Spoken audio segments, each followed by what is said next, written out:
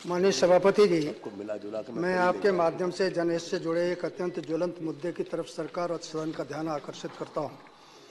महोदय वक्फ वक्फ एक्ट उन्नीस के प्रावधान देश के संविधान के मूल ढांचे के विरुद्ध हैं क्योंकि वह न केवल न्यायपालिका की स्वतंत्रता और अहमियत को बाधित करते हैं बल्कि देश के पंथ निरपेक्ष स्वरूप को भी विघटित करते हैं महोदय देश भर के सभी बत्तीस वक्फ बोर्ड के सभी सदस्य मुस्लिम समुदाय के होते हैं उन बोर्डों के वक्फ एक्ट उन्नीस के द्वारा इतनी शक्ति दी गई है कि वह किसी भी व्यक्ति की किसी भी संपत्ति पर अपना दावा कर दें तो वह वक्त की संपत्ति मानी जाएगी और उनके उस दावे को किसी अदालत में भी चुनौती नहीं दी जा सकती। महोदय, उदाहरण के लिए आप झुंझुनू ज़िले से आते हैं। यदि आपके मकान या कृषि भूमि को वक्फ बोर्ड अपनी संपत्ति घोषित कर दे तो आपके पास किसी न्यायालय में भी जा, जाने, चुनौती देने का अधिकार नहीं है। आपको केवल उस बोर्ड के सामने पेश होने, होना होगा, जिसने आपकी संपत्ति को वक्फ संपत्ति घोषित कर आपकी ज़मीन छीन ली है। अर्थात चोर, थानेदार तथा न्यायाधीश की सभी शक्तियाँ वक्फ बोर्ड को दे दी गई हैं।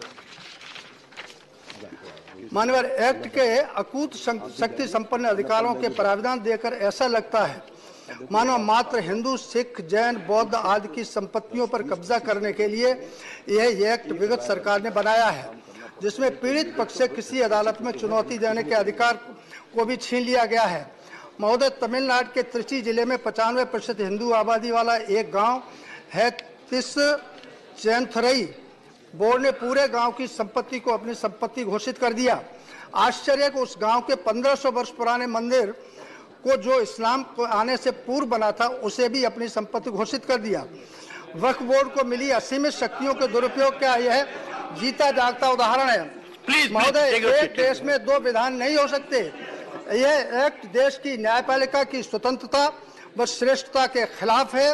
देश में अलगाव व नफरत पैदा करता है। देश की एकता तथा अखंडता तथा सामाजिक सौहार्द को बिगाड़ रहा है।